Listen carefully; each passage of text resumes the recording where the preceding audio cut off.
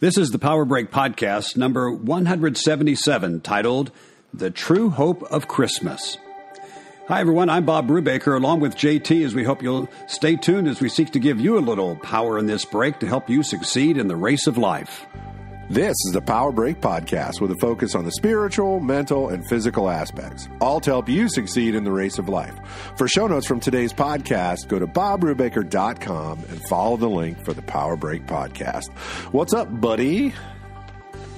Well, here we are recording this on a date earlier, but we're going to release this on the 21st of December, so it's Christmas week here, and uh, things get busy for us. It's hard to well, it's hard to keep track of what's going on sometimes, but For sure. it's always important to be grateful, isn't it? Gratitude really does make a difference in life. Oh man, it makes all the difference, right? I mean, I, I, you have quoted so many times all the different studies that have shown that people that are grateful live longer, they're healthier, their body is body's immune system's more effective. I mean, man, you could just keep going. But yeah, gratitude, and it and it all starts with your attitude of gratitude, right? Hey, that's right. That's good, JT. So let's be a little grateful right, as we start this program today because we want to be grateful for all the people that have, that have been listening to and are listening and spread the word about the Power Break podcast. We are in debt to you because in debt of gratitude to say thank you very much. Thank you for listening to our podcast.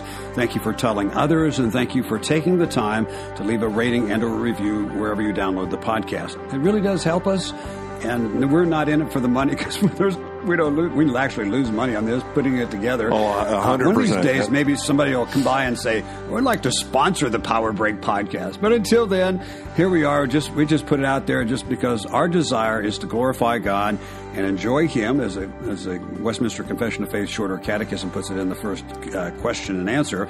But we just want to glorify Him through the means of podcasting and through this Power Break podcast, just to give you a little help, as we say, to succeed in the race of life. Yeah, you know, and just to show a little gratitude towards you, my friend, I, I, I really, you know, that has always been something that's inspired me and been something I, I've tried to do as well. Is just watching how you try to send the message of Christ through whatever means you have available to you. Um, you know, so, it, and that's something that all Christians are called to do, but that's something that you've been so effective at. So between the podcast and the blog, and, um, you know, soon we're going to have uh, JT's Corner. Um, you do, you've written multiple books. I mean, just, I, I'm grateful for your efforts. I, I really am because it really does make a difference.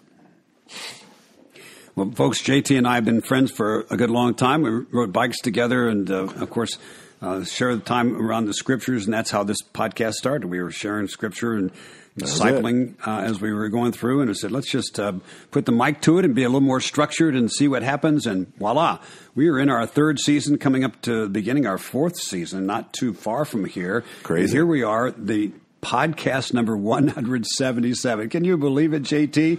No, 177 episodes of the Power Break podcast. Well, anyway, today we're talking about the true hope of Christmas, this being Christmas week. So, JT, what are some of your Christmas hopes, or some that you might have had in your lifetime, or maybe you've heard of? Christmas hopes. You know, it, this is kind of the time of year where everybody feels like um, there's hope, right? And it's also the time of year where people who don't have hope feel it the worst, right? Um, you know, as a police officer, I saw both sides of it. I saw people who were grateful and hopeful, and I saw people who felt like they had no hope. Um, and, and and really, you know, I, the thing that I love about hope is where it comes from. Um, I, I, I love the fact that hope comes from having faith and being loved by God. I- You know, and and that's where our faith and our hope comes from. You know, I, I think we're going to talk a little bit about where Paul, um, where Paul talked about uh, faith, hope, and love. Um, are are the three most important things. Of these, love is the most important, and it seems that love is the thing that causes everything else. That's the that's the tie that binds. That's the thing that kind of, and it all started with the hope that was given to us by the Savior coming and showing us how much He loves us, right?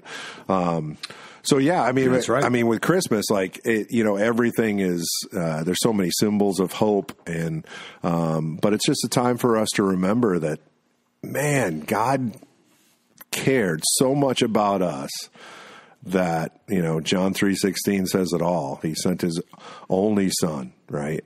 Um, Yeah, I mean that's what I think of when I think of Christmas. I, I love Christmas because not because of the the gifts or anything like that. Like all that stuff is that's a show of gratitude, and that's why we give gifts. Um, but at least for me, but but really the the biggest thing is the hope that's there. It's like wow, man, we had no hope, and now we have that hope in front of us. I mean, how about you? How, what, what do you think about when it comes to like Christmas and hope? Uh, it's amazing. You just take a look around. People hope in a lot of things. They hope for world peace, or they hope they'll get a lot of Christmas gifts, or they hope for cold weather. Even in Florida, can you believe that? People think they, they you go around here and snow, snow, snow. Uh, anyway, uh, they, people uh, really anticipate. Uh, that's what hope is. It's an anticipation, an expectation, and some people anticipate the, this warm, fuzzy Christmas feeling. But as we were, uh, as we want to talk about today, that uh, the, the true hope of Christmas, I just pointed out, uh, just want to point out that everyone seems to have a different hope for Christmas. But the hope of a Christian at this time of the year is, as you mentioned, JT, it's maybe a renewed hope that was presented to the people in the Old Testament times, and that was the advent or the the entering in of Messiah although he has come, we still can appreciate and even hope in anticipation of this time of the year where we replay his first advent, knowing that's not the end of the story. He has come and stepped into our world, and he has come and he has died for us. Uh, just as the scriptures teach. And he has, according to the scriptures, risen from the dead, and he is alive forevermore. Plus, he has promised another advent, his second advent, his promised return. Notice in Revelation chapter 1 that the one who came announces the fact as he's also ascended. He announced to John, he says, I am the living one. I died. Behold, I'm alive forevermore, and I have the keys of death and of Hades. Well, really, that's the consideration of the true hope of Christmas. Jesus Christ has stepped into our world. He's accomplished exactly what he set out to do. He's returned to the, the throne of the Father, where he's at the right hand of God, make, making intercession for us. And he rules and reigns as King of Kings and Lord of Lords, and he will soon return to gather his own to his uh, promised place of bliss forever and forever. That is the true hope of Christmas, and that's what we want to talk about today. Man, so good. Um, yeah, let's continue to talk more about that as you turn to, as we turn, you turn U turn. I didn't make a U turn. What's U-turn. going on here? What? What? I turn, Huh? you turn, we all turn.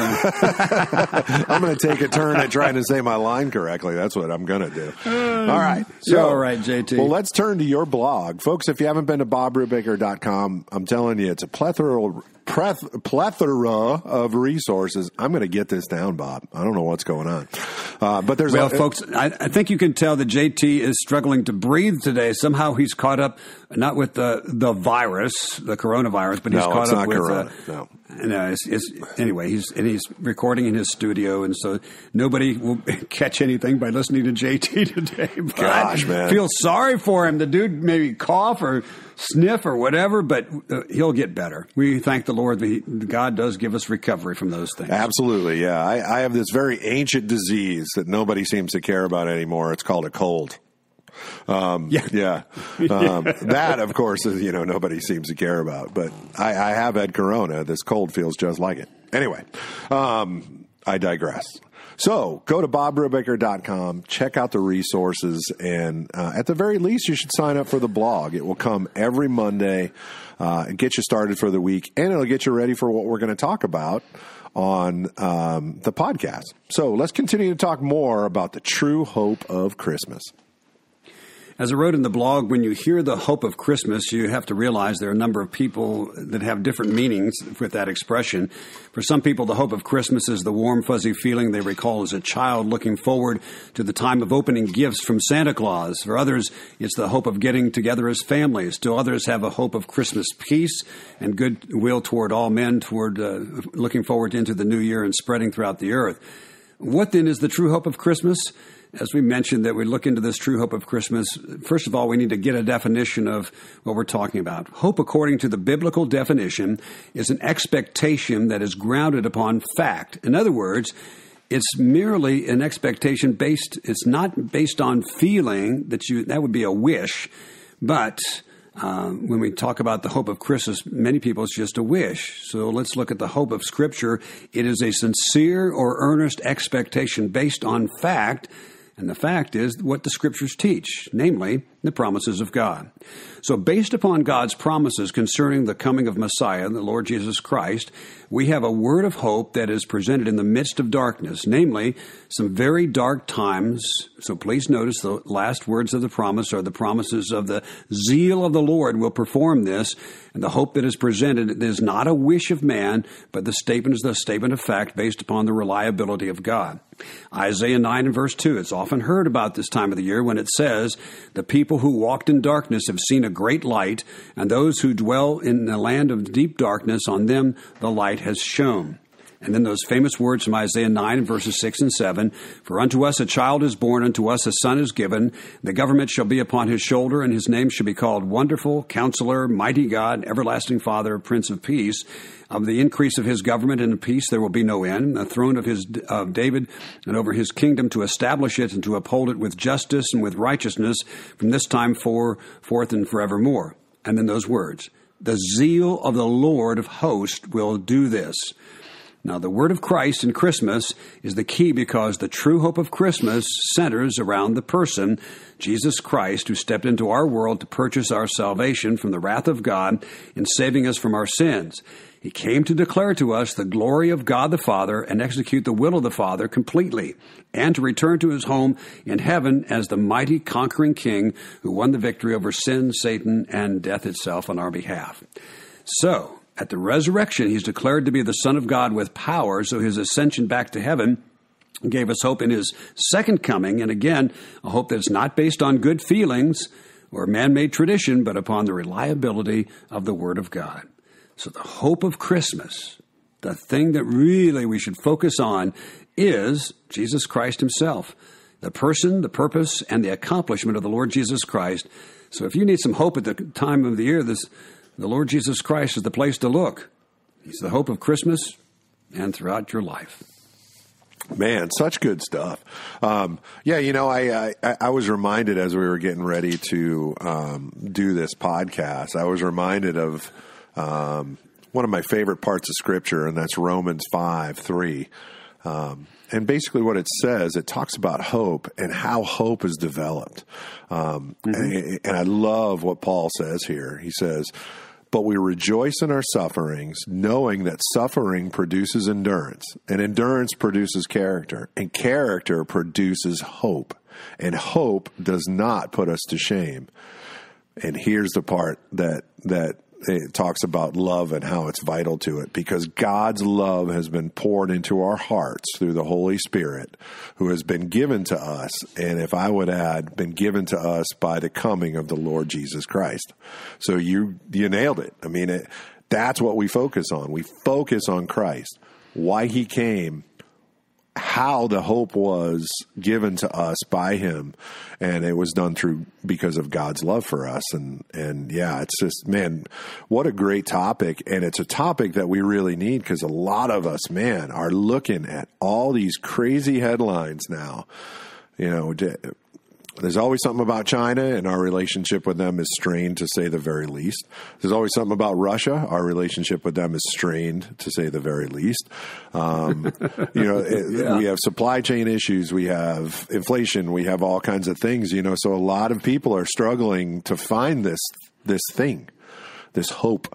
Um, you know, and and hope was given to us by the man Jesus Christ who cannot that cannot be taken away from us. So it's so incredibly important for us not to look at this other stuff and try to say, all right, well, you know, through our perseverance, through all this stuff, we'll build hope. It's no, through our perseverance through life with our focus on Christ, that's how we build hope.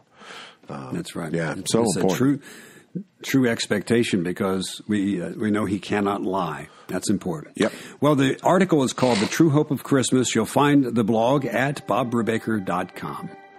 So, what's happening this week, Bob? Anything in the news we need to know about? Well, the news from the Power Break podcast is this. Check out the book Finding Delight in the Lord's Day at bobbrubaker.com. When you find delight in the Lord's Day, you're focused on Christ, on His day, and, and as just putting that uh, in the center of your mind and the center of your family will help you find delight in the Lord. And that gives you hope. All it just kind of renews your hope. That's what the Lord's Day is all about. Give us a renewed hope and, and confidence in the Lord. So check it out at Finding Delight in the Lord's Day at bobbrubaker.com. And while you're there, check out the sermon links to the sermons I preach here at Christ Community Presbyterian Church in Clearwater, Florida. And uh, you'll find those sermon links along with the books and everything else at bobbrubaker.com. This is the Power Break Podcast. I'm JT along with Bob Brubaker, and this is time on the podcast for questions and answers. If you have a question for me or Bob, feel free to email me at jt at bobbrubaker.com, and we'll get to answering that question on an upcoming Power Break podcast. Are you ready for question number one? The big cheese, the whole enchilada, my friend. You're making me hungry when you start talking like that, JT. That's, that's, I think that's actually why I said it. I'm actually hungry. All right. Boiling it all down, what is the true hope of Christmas, and why is it important to get this right for us? You've probably seen that expression, no peace, and N-O peace. Uh, well, excuse me, let me back up. It, it's no Christ, no Jesus, N-O Jesus, uh, equals no peace. K-N-O, or N-O uh, let me get it right. No peace equals no. you know what I'm talking about? Well, you can apply it to hope, okay? Without Christ, you have no hope. That's exactly where I was going. So, man, I really messed that one up. If we were, if we were like some people, we would just strike that one. Let me do that again. It was interesting. I was listening to this famous podcaster and, uh, he started over on something and they forgot to edit it out. Oh, that always hysterical. makes people feel good. I caught you. Anyway, boiling it down, here's what we have. The true hope of Christmas is the hope presented in the Old Testament, looking forward to the first advent of Messiah. Words like, as we read from Isaiah 9 and verse 6, Unto us a child is born, unto us a son is given. Also in Isaiah 42, he says, Behold my servant whom I uphold, my chosen, in whom my soul delights. I have put my spirit upon him. He will bring forth justice to the nations. Notice this, he will not cry aloud or lift up his voice, make it heard in the streets. A bruised reed he will not break, and faintly burning wick he will not quench. Now, I preached on this several weeks ago, but it's really good stuff when you think about it. This was fulfilled. Actually, Matthew quotes this uh, this portion of Scripture in Matthew chapter twelve. The Lord Jesus Christ didn't call attention to himself. Okay, he didn't have the fanfare when he was born. Actually, the, the angels came to the mere shepherds and said, uh, "Go and check this out in Bethlehem." Right. So he, he didn't have all the fanfare. Like he's the, he was born a king, but nobody, you know, they didn't have the fanfare. Matter of fact, Joseph and Mary actually had were told to escape to Egypt for a while while Herod was trying to kill the children, right? Because he didn't want any competition. But notice it says a, a bruised reed he will not break, break, or a faintly burning wick he will not quench. That's the tenderness of Christ. That a bruised reed is, is a is a bent over reed or a bent over stick or something like that and he doesn't just straighten up, okay? And a faintly uh, or, or, a faintly burning wick. Sometimes the fire in our lives is very faint. He doesn't. He doesn't uh, quench that. Yeah. So he's very tender about that. And that's you know for those who are after his first advent. Okay, Christ is the hope, the expectation of the heart, and so Colossians says uh, to them chose uh, God made known to the great among the Gentiles are the riches of the glory of this mystery, which is this is a verse that is quite um, familiar to you, JT, and one of your favorites. That Christ in you is the hope of glory. Yeah, and so It's, it's the Lord Jesus Christ. In Philippians chapter 3, Paul says, I just want to know him and the power of his resurrection, to share in his sufferings, become conformable to his death. Again, it's Christ is the, evident, the emphasis here. And in Philippians chapter 3, it says, Our citizenship is in heaven, and from it we, we, wait for a Savior, the Lord Jesus Christ, who will transform our lowly body to be like His glorious body by the power that enables Him to be, uh, to, uh, even to subject all things to Himself. So, why is this all important? Well, this will test the test of time, even through all time and eternity. It's not a wish, it's an expectation. Everything is based on the expectation that Christ would come into this world. He did. And so we expect him to come again because he is the way, the truth, and the life, and nobody comes to the Father except through him. That is our hope. We have access to the Father through our Lord Jesus Christ. Yeah, and it's an amazing hope. It's an, such an amazing hope that it is very distinctive from every other religion in the world, right? Um, everything that that's exactly right. Yeah, I mean that that's the thing that makes it to where wow, this is completely different. You know, it's why I've, I've always loved the Bible. That if a human being could write it, they wouldn't because they put a whole bunch of you know stuff in there that that human beings didn't recognize, like women being witnesses and all kinds of things. I mean, it was so obvious that it was directly from the hand of God. And then and then on top of that this relationship. This is a relationship that isn't that is distinctive from every other relationship. And that's why I just you know it, it, it's so important for me to try to explain to people hey listen I mean this is a hope that that is above and beyond anything that you can comprehend because um, the promise happened, the promise came, and now the promise will continue. I mean, it, it's it's such right. it's such an That's awesome right. thing. Yeah.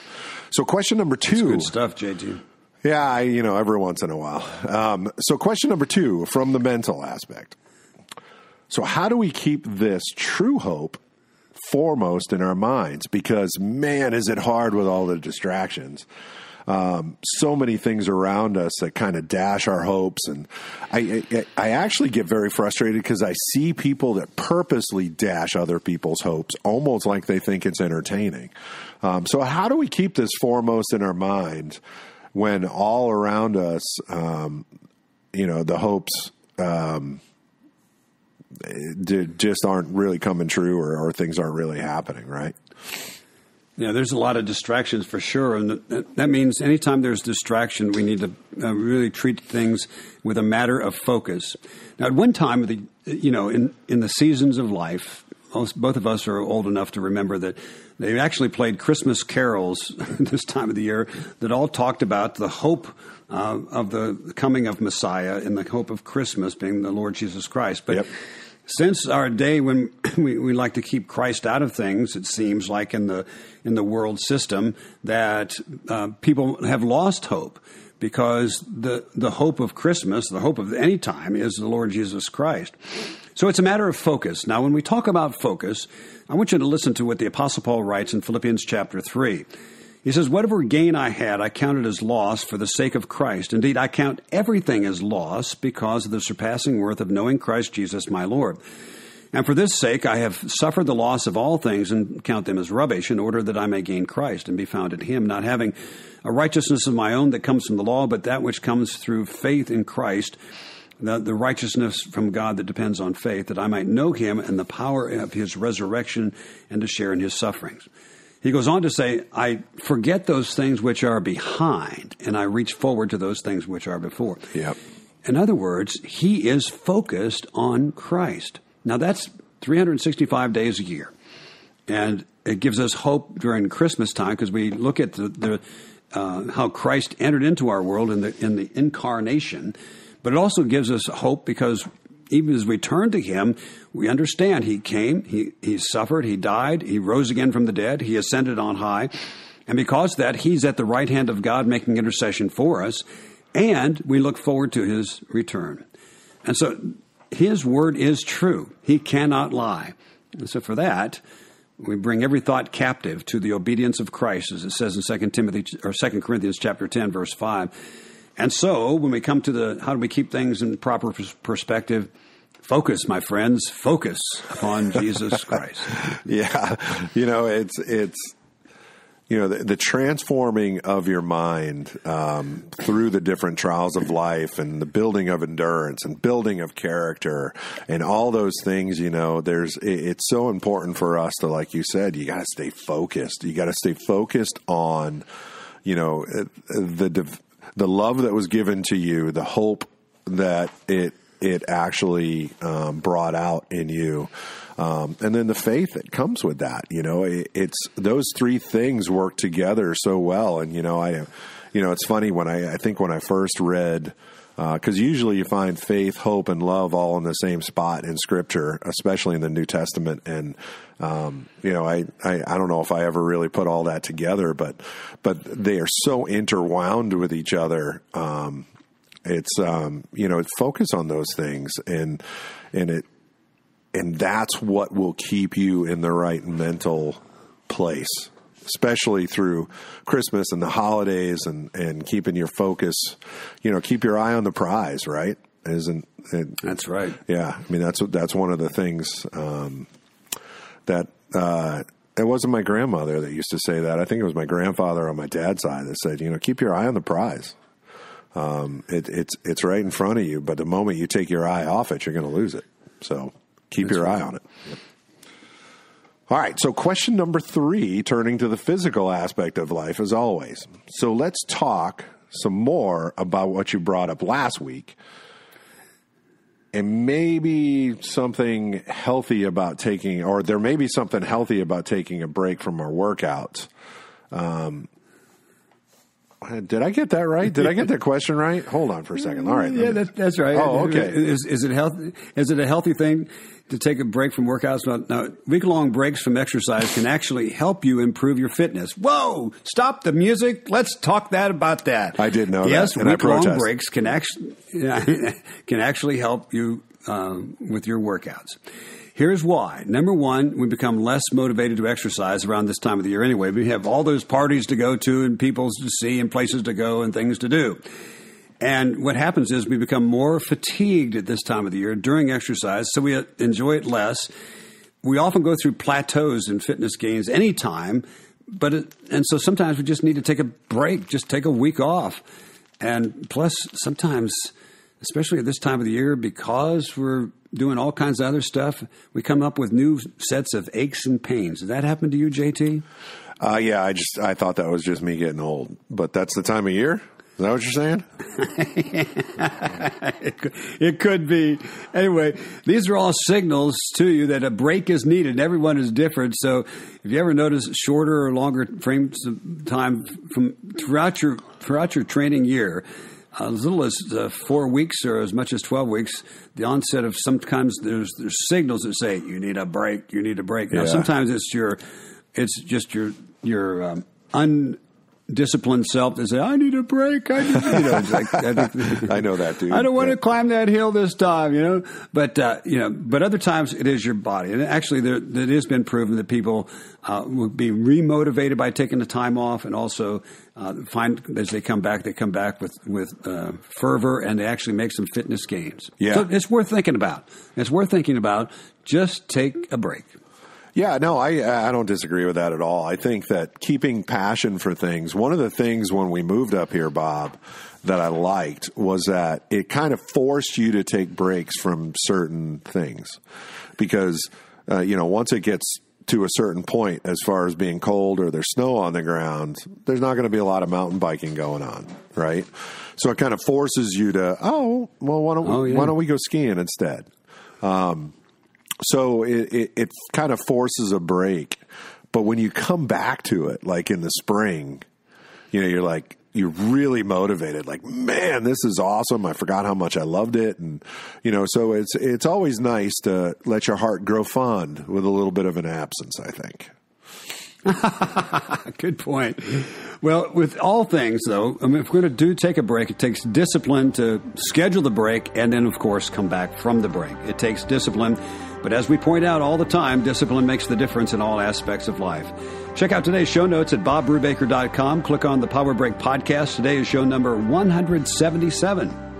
And submit your questions by email to jt at bobbrubaker.com, and we'll get to answering those questions on an upcoming Power Break podcast.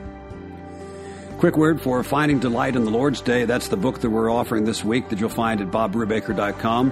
It's just a description of how you honor the Lord with honoring His day, the Lord's Day, and check it out at bobbrubaker.com. Click on the resources, scroll through the resources to the books, and through the books you'll find Finding Delight in the Lord's Day. And real, real quick word, JT, is this is being uh, published on.